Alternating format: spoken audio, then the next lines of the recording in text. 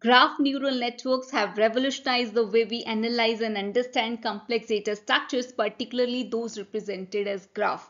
Today in this video, we'll explore GCN, GAT, GRN, GIN and GNNs, providing a simple technical overview along with a relatable finance example to help you grasp the power of these cutting-edge algorithms. So let's get started with what is Graph Convolutional Network or GCN. Basically, graph convolutional networks are a type of machine learning algorithms used to process data that is presented as a graph, which is a collection of interconnected nodes and edges. In finance, graphs can be used to represent various types of financial relations such as stock price fluctuation, credit networks, and investment portfolios. In simple terms, graph convolutional network can be thought of as a way to analyze and learn patterns in interconnected data. For example, in the finance domain, graph convolutional network can be used to predict stock prices based on the relation between different stocks in a portfolio. So let's take a simple real life example. Imagine you are a financial analyst trying to predict the future price of a stock. You have data on the historical prices of the stock as well as the data on the prices of other stocks that are closely related to it, such as other stocks in the same industry or the stocks that have similar market trends. To analyze this data, you can use graph convolutional network to learn the relations between the different stocks and their prices. Here, the graph convolutional network can use this information to make predictions about the future price of the target stock. So in this example, the graph consists of the nodes representing different stocks and the edges connecting stocks that are related to each other. Graph convolutional networks can learn the patterns in the data by analyzing the relation between the stocks and their prices. This allows the graph convolutional network to make more accurate predictions about the future price of target stock. Then comes graph attention network. Basically, graph attention networks are a type of machine learning algorithm used for processing graph structured data. They're similar to graph convolutional network, but instead of performing convolution operation on the graph, GATs or the graph attention network use an attention mechanism to selectively focus on important parts of the graph. In simple terms, GATs are a way to analyze graph structure data by giving more weights to the parts of the graph that are most important to a given task. So let's take a simple real life example in the finance domain. Imagine you are a financial analyst trying to evaluate the credit worthiness of a company.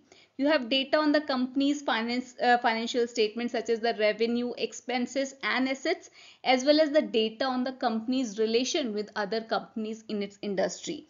So to analyze this data, you can use a GAT to focus on the most important relation between the company and other companies. Now GAT can assign more weight to the relations that are most closely related to the company's credit worthiness such as relation with the major suppliers or the customers. So in this example, the graph consists of nodes representing the company and other companies in its industry and edges connecting them based on their relationship. The GAT can learn which relation are most important for predicting the company's credit worthiness by assigning different weights to the edges in the graph.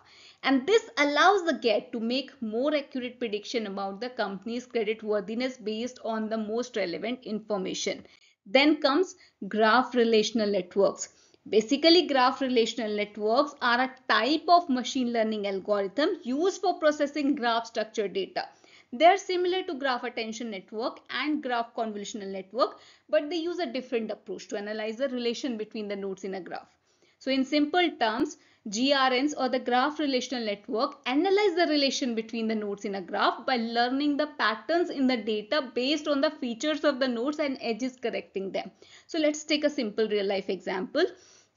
Imagine you are a financial analyst trying to analyze the relation between the different companies in a particular industry and you have data on their financial statements of these companies such as revenue, expenses and assets.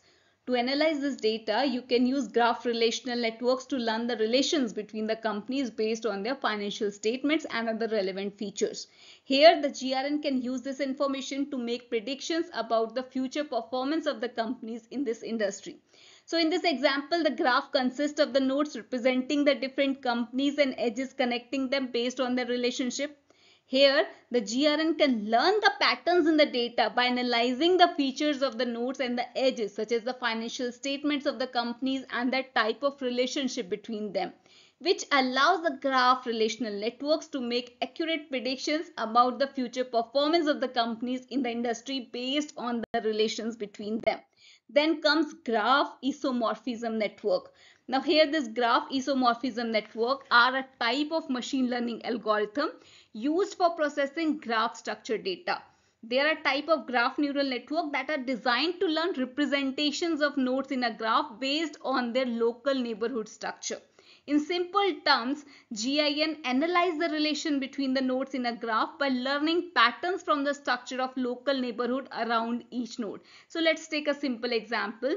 Imagine you are a financial analyst trying to predict the credit risk of a borrower. You have data on the borrower's financial history such as their income expenses and debt to income ratio as well as the data on the borrower's relation with other individuals and companies to analyze this data, you can use this uh, graph isomorphism network to learn the relation between the borrower and other individuals and companies based on their financial characteristic. Here, the GIN will use this information to make prediction about the borrower's credit risk. So in this example, the graph consists of the nodes representing the borrower and other individuals and the companies and edges connecting them based on their financial relationship.